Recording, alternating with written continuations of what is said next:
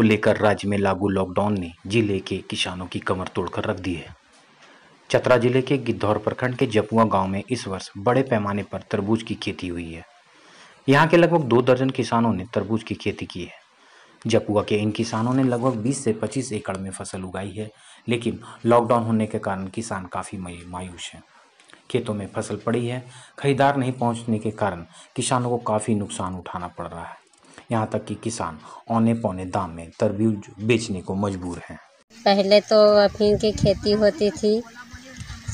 सरकार बुद्धि दिए तो थारगुज की खेती किए। थारगुज तो बहुत सारा गल रहा है।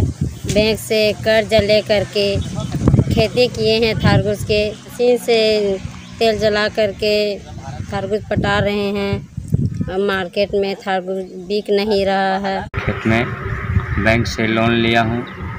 वो सब कैसे भर पाएँगे? न हम लोग को दवा मिलता है, सब हम लोग खरीद कर काम कर रहे हैं। सरकार से बैंक द्वारा लोन भी लिए। सब थारगो, खेते में सड़ रहा, गल रहा है बाल बच्चा के पढ़ाना है, लिखाना है, और पैसा कुछ नहीं है, और लड़की के शादी करना है, पैसा नहीं है। कैसे हम लोग का करें? सब खेतवे में सड़ रहा है तो है कर्जा महाजन लेकर के खेती किए थारगुज के। वो थारगुज लॉकडाउन के वजह से थारगुज हम लोग का बिक नहीं पा रहा है। सब थारगुज खेत में सड़ रहा है। बैंक का कर्जा है। और इधर उधर कर्जा लिए दवा बीरो सब लाए कर्जा उर्जा कर करके।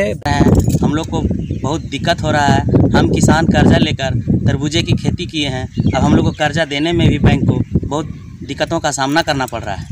खेती बाड़ी में इंगेज हो अफीम छोड़ दे, उसे बहुत सारा नुकसान है और खेती, जो भी टाइप का खेती है, वो लोग करें, हम लोग हेल्प करेंगे।